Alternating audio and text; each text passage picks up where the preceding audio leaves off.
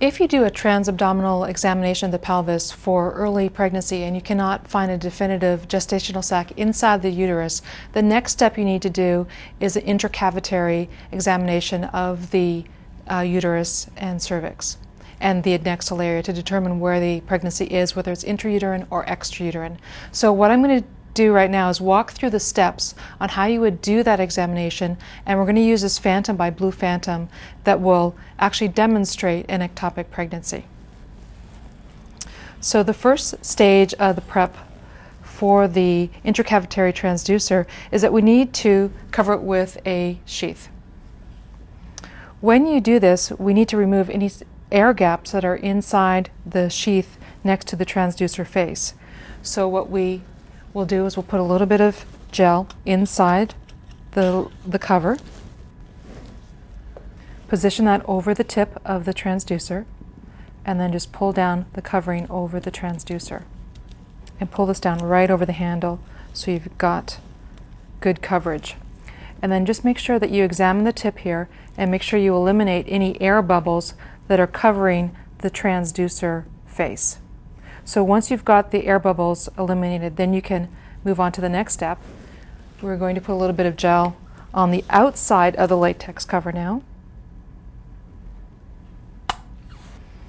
And again, your orientation for this examination is very important. So for the long axis or sagittal view, we want the orientation marker up. And then when we go to the coronal view, we're going to turn that so it faces the patient's right. After we've inserted the transducer in a long axis view, the first thing that we're going to see is a long axis of the uterus. In this phantom representation of the uterus, we see an endometrial stripe, which is represented by the white line. So if I was doing this as a real pelvic exam, I would scan to the right of the patient all the way through to the right adnexa, and then back over, all the way back through the uterus, over to the left adnexa. And the reason I'm doing this is because I don't see the pregnancy inside the uterus.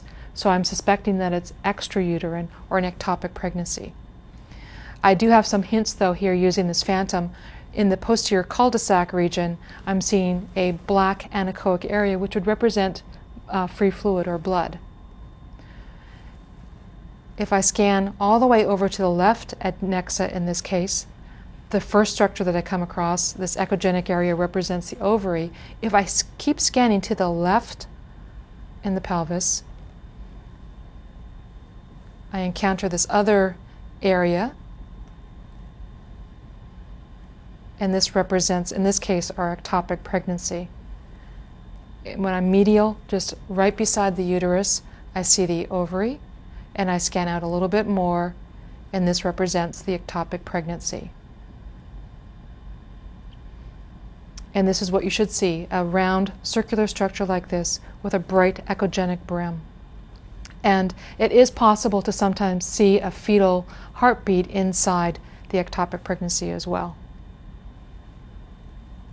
Now I'm going to change the orientation of the transducer so I'm in a coronal view. To do that, I'm going to turn the transducer counterclockwise.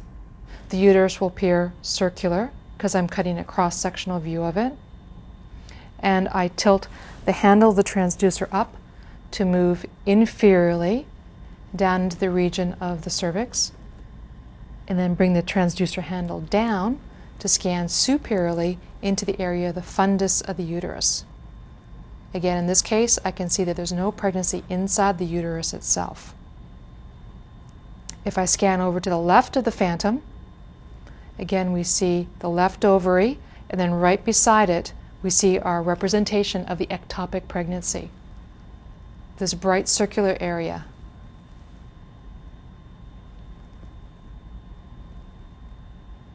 Moving back towards the midline, the anechoic area just posterior to the uterus is represented as free fluid or blood in this case.